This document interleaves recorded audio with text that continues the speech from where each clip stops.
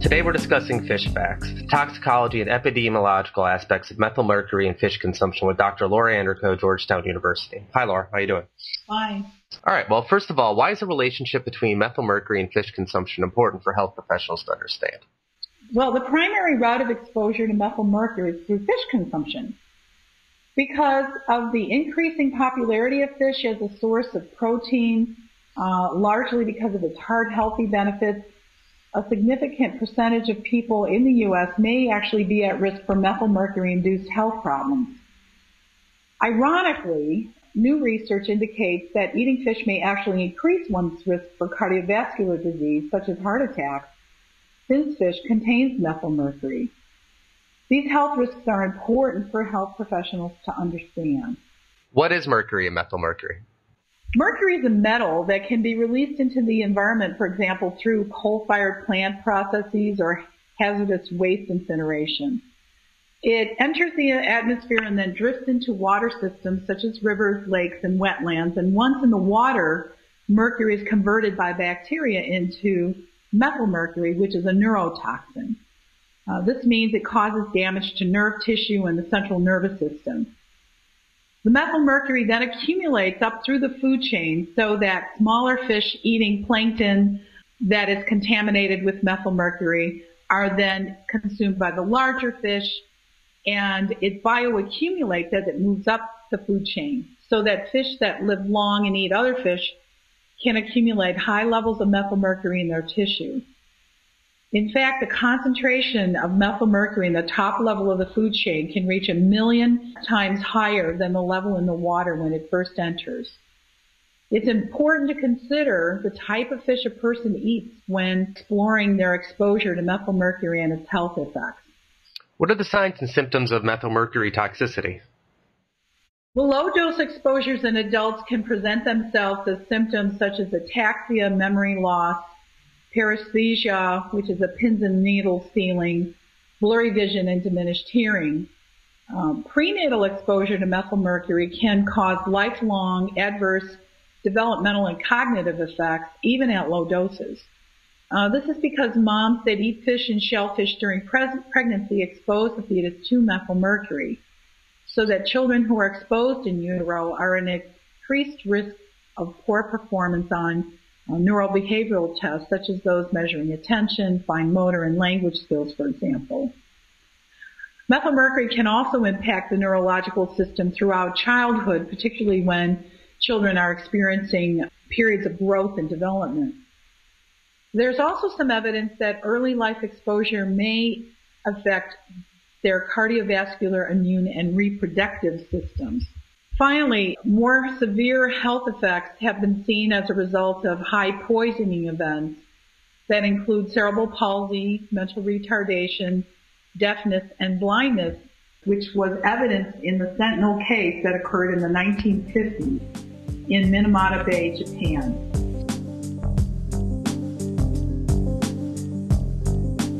In April 1953, the harmony of Minamata is shattered by a strange discordant note. Kubio, strange disease makes its appearance. First, only small animals, cats, and birds are afflicted, but then the first people. Soreness in the muscles and joints, tunnel vision, dizziness, numbness in the hands and feet. These are the symptoms of the strange kubio. Then the tremors and wasting begin. Many die. Survivors are deaf and blind or paralyzed. The disease soon reaches epidemic proportions. The authorities are baffled. Investigators seek an infectious disease that is found. It isn't until 1956, three years later, that a real clue to the cause of the kubio is found. Dr. Hajime Hosokawa, a researcher employed by the Chisso Chemical Company, makes a connection between the strange disease and the sea. Dr. Hosokawa establishes that of the 40 families affected by Kubio, 25 ate shellfish daily from Minamata Bay, and the remaining 15 families ate the same diet two to three times weekly. Hosokawa suspects that industrial pollution has contaminated the town's major food supply, Minamata Bay. That the Minamata disease, Kubio, is mercury poisoning, caused by discharge from the Chisso plant. Upon reporting his findings the company has taken off the experiments. How did the Minamata poisonings occur? Most sources of industrial mercury pollution discharge relatively non toxic compounds into waterways, a practice long considered safe. Why then the epidemic of the Kubio and mercury poisoning? The answer lies in natural occurrences of metabolism and complexings of toxins in the food chain. Microorganisms in the silt and water metabolize the dumped inorganic mercury, excreting it in the form of highly toxic mercury compounds. Then, through a process known as organic complexing, these compounds move through the food chain in ever higher concentrations. Quite simply, the bigger organisms eat the smaller ones, and the poisons pass from one body to the next, building up to dangerous levels in the larger animals. Throughout the late 50s and early 60s, many children are born, some healthy, some born blind or deaf or brain damaged or deformed. The parents, apparently in touch by Kubio, have no reason to suspect that they are links in a dangerous chain. A healthy adult can tolerate fairly large doses of mercury without apparent ill effect. Tons of mercury enter our bodies for every year, from coal fired power plants, from fungicide, as well as through industrial dumping. Not only seafood is affected. Mercury proliferates through our food chain and is present in meat, dairy products, and grains.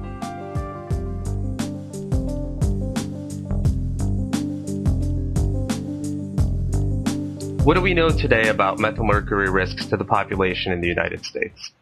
Well, it all started with Minamata Bay, and since then we have found this is not just an isolated issue, and that methylmercury is a concern even today.